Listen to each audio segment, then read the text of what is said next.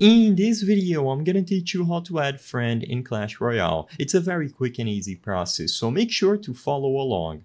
Adding friends to your friends list on Clash Royale is extremely simple. All that you have to do is make sure that you have the latest version of the game, and as long as you set up an account you will be good to go to add other people to your friends list. So in here, from the home screen, you can browse through various options and while there are some options related to finding your friends, for example, clans, the most straightforward way of adding your friends in Clash Royale is to go back to the battle tab in here and tapping this little social icon that you see at the top. Immediately upon heading into social, you will see the main option to invite or add your friends. So tap on this big button and what this will do is give you plenty of options to choose from to share a link or a way for your friends to add you. As long as you tap on this option, share your link, and they access Clash Royale through your link, both of you will be connected. Like I said, make sure you have an account properly set up and you will be ready to add each other. You can also try using this URL underneath your little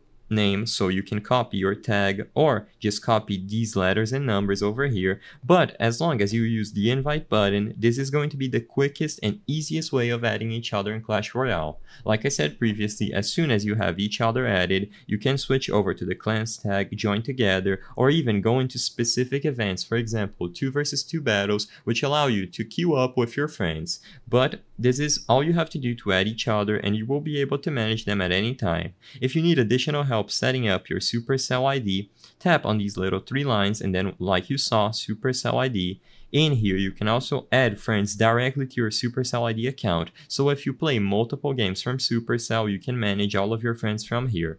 Regardless of which option you pick, you will be able to connect with them and play everything, especially Clash Royale together.